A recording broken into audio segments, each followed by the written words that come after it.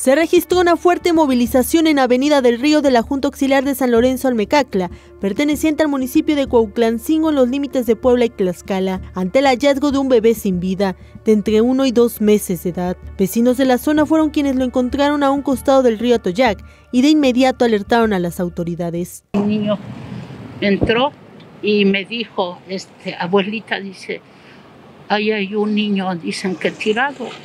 Y yo salí corriendo y, y ya me dice mi hermana, porque vive mi hermana, y ellos dicen que lo vieron, ella y su nuera, y ya dieron parte. No tienen conciencia de lo que hicieron, ¿eh?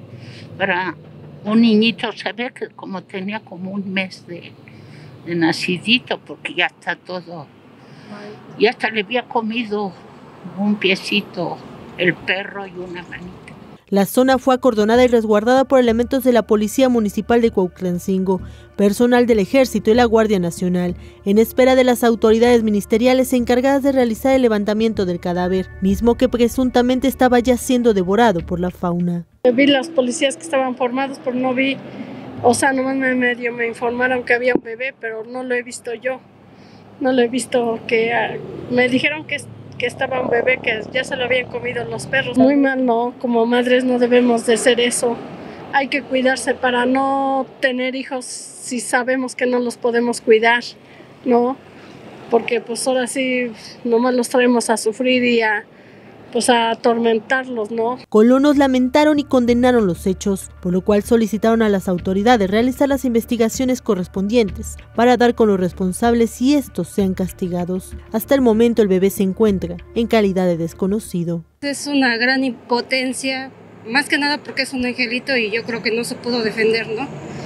Pero hoy en la actualidad estamos viviendo ya con mucha inseguridad tanto para grandes como para pequeños, como yo creo que para todo mundo. Y es muy lamentable lo que está sucediendo. El ser humano ya, ya es muy frío y ya es muy, muy débolo, porque pues no, simplemente ya no se tientan el corazón para hacer tanta atrocidad. Más tarde, elementos de la Fiscalía General del Estado de Puebla arribaron al sitio encargados de las diligencias que permitan aperturar la carpeta de investigación correspondiente para determinar la causa de muerte del menor, con imágenes de José Manuel Cervantes Sara y Mancilla. Noti 13.